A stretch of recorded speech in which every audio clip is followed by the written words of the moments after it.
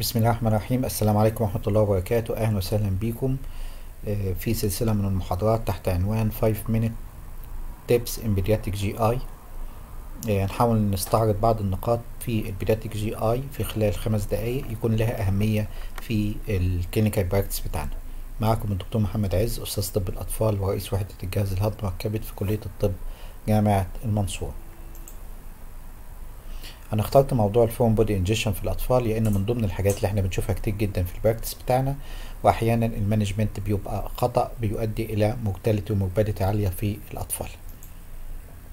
يمكن وإحنا لما بناخد history أو بنعمل physical examination أو بنطلب investigation زي ال X-ray أو ال CT في الغالب إن إحنا بنبقى عايزين نجاوب على مجموعة من الأسئلة. الأسئلة اللي إحنا هنجاوب عليها ديت بناء عليها بنقدر ناخد قرار في ال management of foreign body سواء إن إحنا نعمل منظار ونشيله أو نستنى عليه أو نعمل urgent referral أو نعمل just observation and follow up. الأربع أسئلة دول رقم واحد ال type of the foreign body رقم اتنين ال location of the foreign body رقم تلاتة هل هو witnessed ولا suspected وهل في symptoms في الطفل دوت ولا لا. بالنسبة للسؤال الأولاني what are the types of the foreign body ال foreign bodies إحنا بنقسمهم إلى ست مجموعات. المجموعة الأولانية بنقول عليها coins and blunted foreign bodies المجموعة التانية اللي هي ال batteries.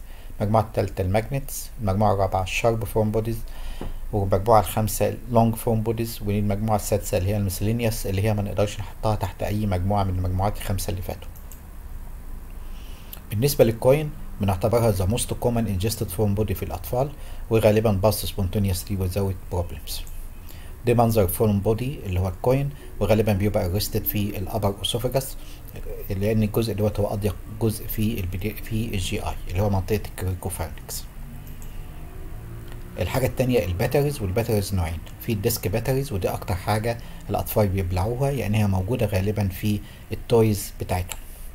رقم اتنين اللي هي ال cylinder ال cylindrical batteries أو ال long batteries وديت نادرا ما عدنا بنشوفها دلوقتي إن الأطفال بيبلعوها. غالبا ال battery disc battery بتبان كانها كانها كأنها coin وال differentiation إن تلاقي حواليها halo نتيجة إن هي بتبقى double lumen بنقول عليها halo sign ال batteries إحنا بنخاف منها جدا لأن ال batteries بتؤدي إلى burn و injury في ال wall بتاع ال esophagus وممكن تعمل perforation زي ما إحنا شايفين كده. ال magnets ال magnets الجديدة اللي إحنا بدأنا نشوفها دلوقتي بنقول عليها very powerful magnets يعني قوتها بتساوي من خمسة لعشر مرات قوة ال magnets العادية. ال magnets ممكن تاخد الأشكال ديت وغالبا ممكن تؤدي إلى perforation في ال gut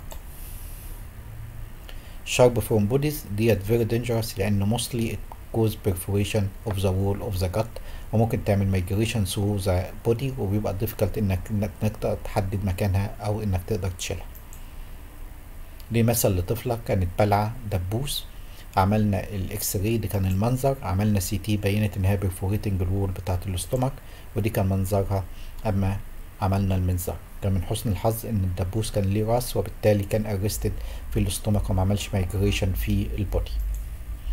long foreign bodies دي ما نقول عليها long لو ال size بتاعها أكتر من خمسة سنتي long أو أكتر من اتنين ونص سنتي في ال diameter. غالبا بتبقى arrested عند ال duodenum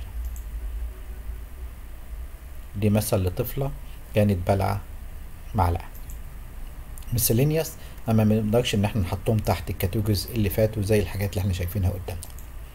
السؤال التاني ال location of the foreign body ال GIT في بالنسبة لل foreign bodies بنقسمها لثلاث مناطق. المنطقة الأولانية above the diaphragm أو منطقة ال esophagus. المنطقة التانية ال stomach وال duodenum المنطقة التالتة beyond the duodenum.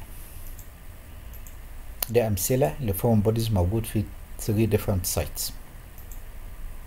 Witnessed or suspected يعني أحيانا يجي لنا الطفل والأم ما تكونش شافته وهو بيبلع وإنما دخلت عليه وهو يشرق أو يكح وماسك حاجة في إيديه أو ماسك أو حاطط حاجة في بقه فهي بتعتقد إن ساعتها إن الطفل يكون بلع حاجة.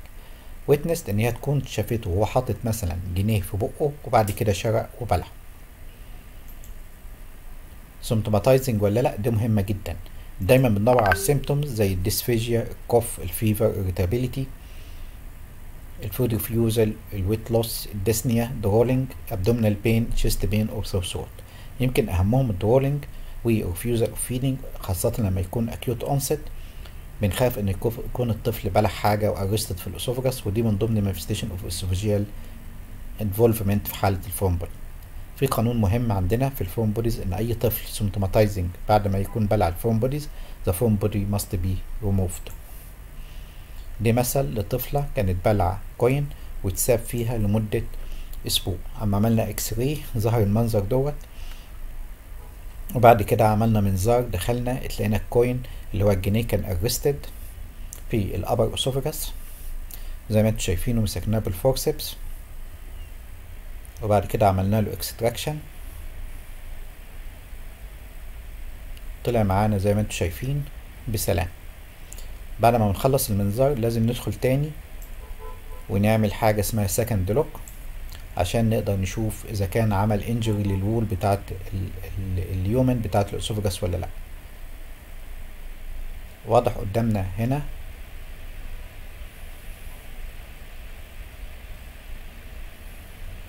إن هو عمل ulcer باين على اليمين والشمال وال ulcer دي كانت deep ulcers طبعا هي ممكن توصل لمرحلة إن هي تكون تعمل perforation